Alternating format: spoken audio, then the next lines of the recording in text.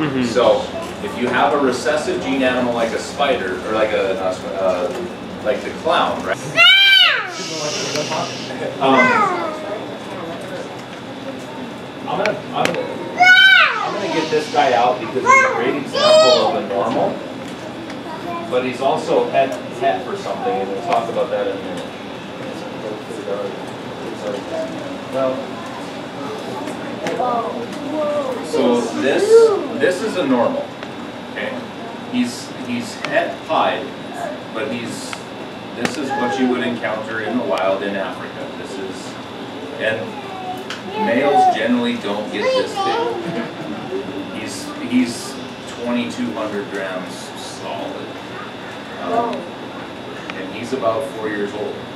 Um, he's he's part of a project that we're working on, but you can see the colors. Um, I know a lot of you guys were here earlier and have been in, and, and you know, we've had a bunch of different animals out during this, and so there's going to be some stuff that you may have seen before, or some stuff that might be new to you. We are pretty heavy on pastel, which is what's called a codom.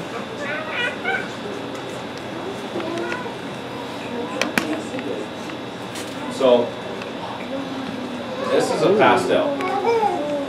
Notice the yellow and all that. This is what they call a codom. So if you breed this guy with a normal female, statistically half of the clutch of eggs should be pastel, half of should be normal. The cool thing about codoms is they have a super form, and the reason that I showed pastel first is because we have, we were lucky enough, to shed and fired up.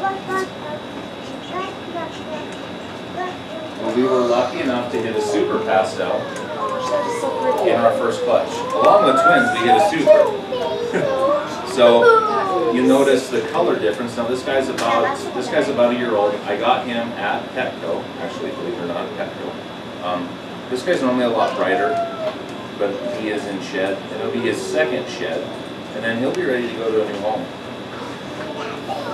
he- no, he doesn't really quite fit into our into any of our our programs. How, how much would that little guy cost? Talk to me afterwards. Okay. Um, because I'm not really exactly sure where we're gonna price those guys at yet. So, a lot of the animals that we have are codoms or incomplete dominance, depends on, on what school of thought you're on on that. Um, another one, this guy's a crowd favorite because of the high contrast.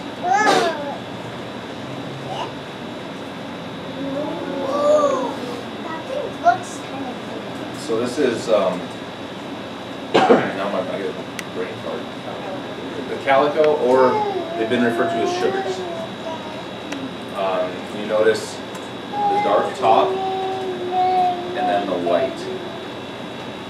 So these guys make some really cool combinations in some animals. Um, we're not going to use him for our breeding program this year, but next year I have a bumblebee female that I'm going to put into, and hopefully we get some calabees or some calico pastel spiders. What's that? I've got a lot of, there's a lot of animals out there you could buy that would be a lot cheaper than what it takes to take that. Um,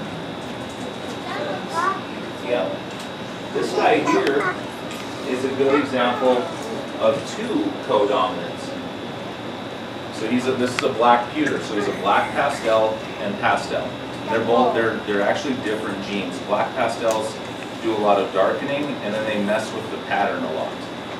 They make the pattern go all kinds of crazy. Pull up that black pastel female. If she's in a decent enough mood.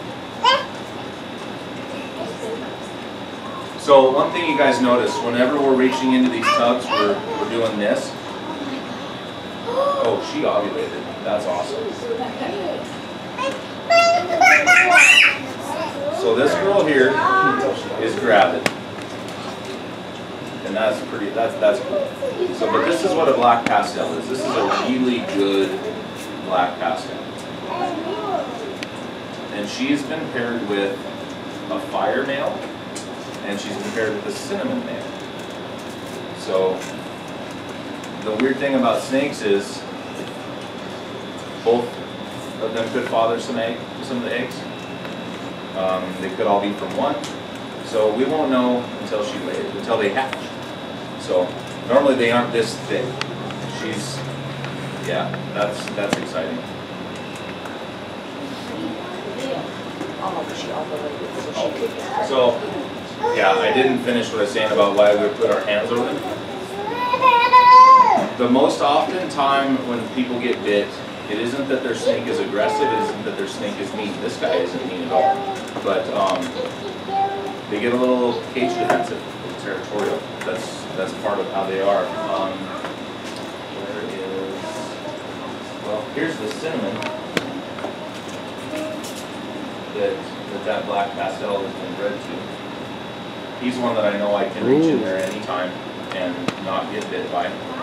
But he's a big animal, and these guys deserve respect. So when you, when you reach into the tub, getting them out of that defensive mode, which is what you, what, what you're doing, now he's getting a little tense. You're basically just letting them know, like, the reason they're called a ball python, actually, is because when they get like that, when you get them out, there's the,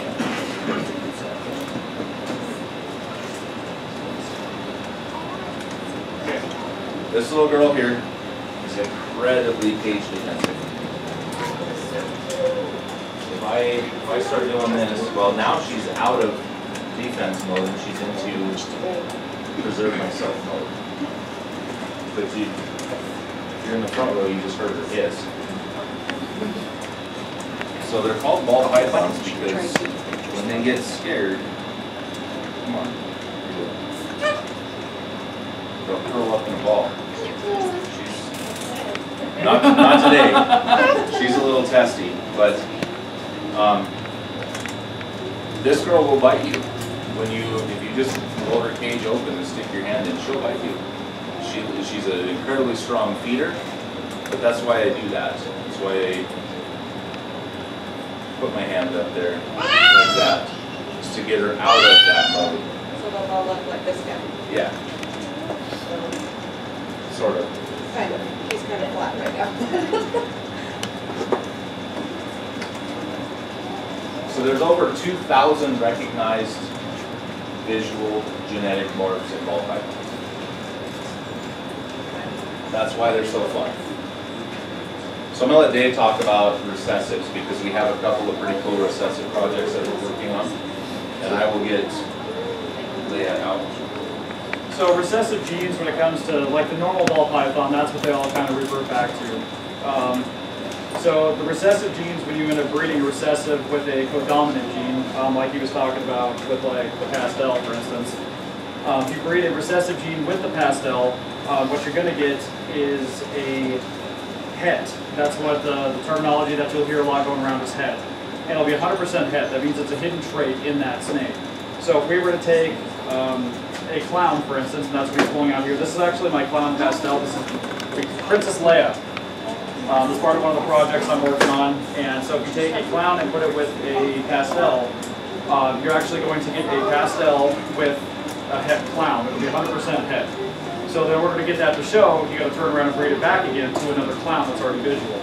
So it's a, I'm sorry, or another het, my apologies. So um, sometimes once you breed them down enough, you can get into the 50% hets and stuff like that, to where you actually have a chance of hitting it and won't always be, won't always be there. But um, this is actually a visual pastel clown.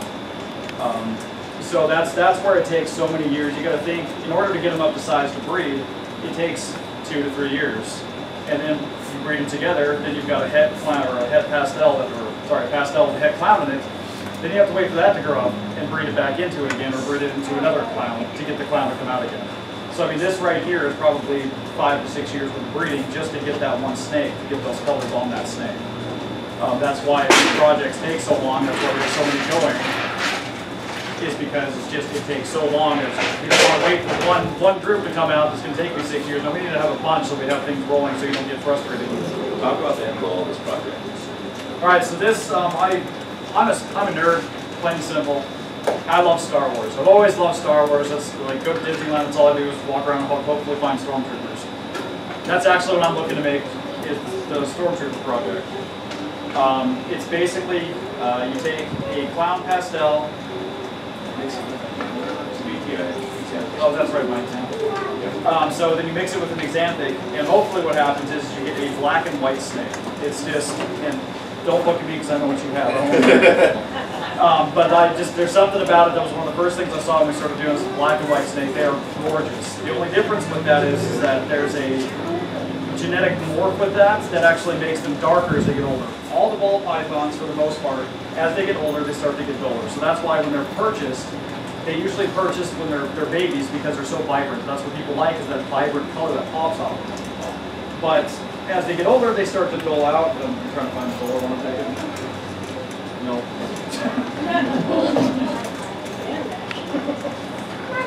I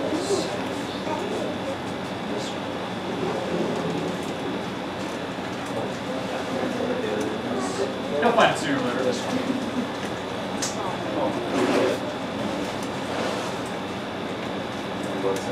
So the pastels that we like so much, this is what they can look like as they get older, so they do lose their colors a little bit. As you saw, the other pastel that we pulled out had a lot of yellow in it. There is still yellow going along the edge here, but it's actually, as you can see, it's starting to dull out and kind of get that brown color. Most of the snakes, as they get older, that's what they're going to do.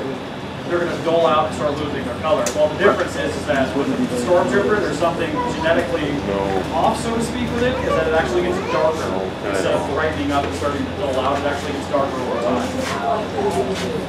Yeah, the black, the- it starts bleeding out and spreading. Um, we're also uh, kind of kicking around the idea at some point, we're actually going to do the piebald on it. Pie we did too. Okay. We call it, close it, please. That for.